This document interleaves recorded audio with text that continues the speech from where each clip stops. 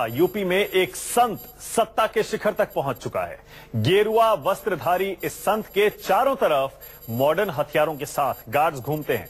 और अब इस संत को मिल गई है प्रधानमंत्री के बाद सबसे हाई प्रोफ़ाइल सुरक्षा। प्रोफ़ाइल सुरक्षा। जी हाँ, यूपी के मुख्यमंत्री योगी आदित्यनाथ को मिल गई है जेड प्लस सिक्योरिटी यानी अब आसमान से लेकर ज़मीन तक सीएम योगी बेहद कड़ी सुरक्षा के दायरे में होंगे। यही है योगी का सुरक्षा चक्र।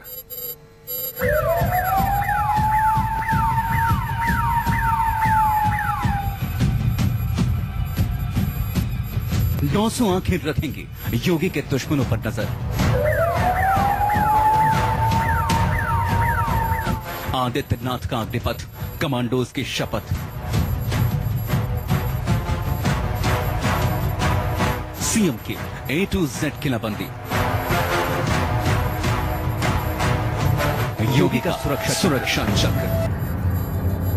योगी के सुरक्षा के पहले चक्र में होंगे। आधुनिक हथियारों से लैस स्पेशल कमांडोज सुरक्षा के दूसरे चक्र में भी स्पेशल कमांडोज होंगे, जिसमें स्कॉट गाड़ी के साथ ही जैमर भी लगे होंगे। यानी आसमानी आफत से भी योगी महफूज रहेंगे।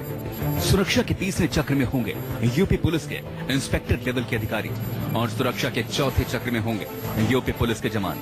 यानी चार लेयर की सिक्योरिटी में महफूज रहेंगे यूपी के मुख्यमंत्री।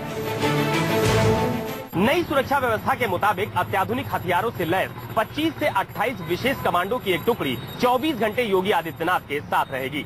इसके अलावा स्पेशल जैमर से लैस एक पायलट और स्कॉट की गाड़ी भी योगी के काफिले में चला करेगी। यहाँ आपको ये भी बता दें कि मुख्यमंत्री बनने के बाद ही योगी की सुरक्षा व्यवस्था पहले से ज़्यादा बढ़ा दी गई थी। अब सुनिए, आखिर योगी आदित्यनाथ की सुरक्षा में कितने कमांडो और जवान तैनात होंगे?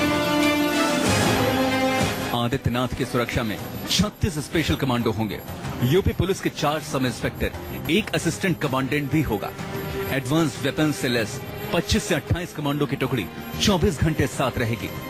सिग्नल जैमर से लेस एक पायलट भी हमेशा साथ रहेगा। काफिले में हमेशा एक स्कॉट गाड़ी भी साथ में चलेगी।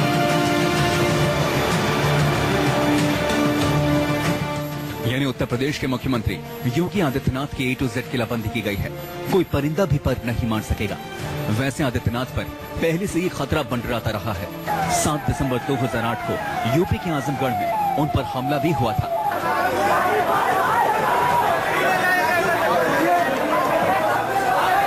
जब सौ से ज़्यादा गाड़ियों उन्हें घेर लिया था